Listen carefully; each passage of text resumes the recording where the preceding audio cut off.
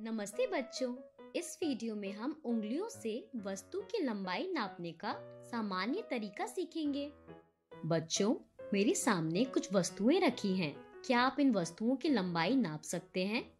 Madam हम इनको कैसे नाप सकते हैं? क्योंकि ये तो हमारे हाथ से भी छोटी वस्तुएँ हैं। जब वस्तुएँ हमारे हाथ के नाप से छोटी होती हैं, तब हम उन्हें अपनी उंगलियों से नापते हैं।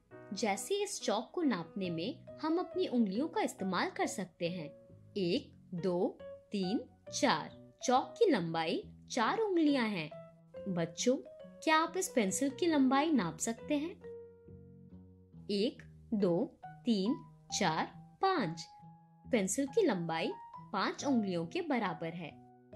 जोई क्या तुम इस डस्टर को अपनी उंगलियों से नाप सकती हो? हाँ टीचर। एक, दो, तीन, चार, पाँच छ सात।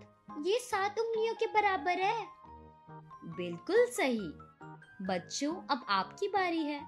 आप अपनी पेंसिल और घर के चम्मच को अपनी उंगलियों से नापें। आप अपना उत्तर अपने दोस्तों और परिवार के साथ साझा करें। बच्चों, इस वीडियो में हमने उंगलियों से वस्तु को नापने का सामान्य तरीका सीखा।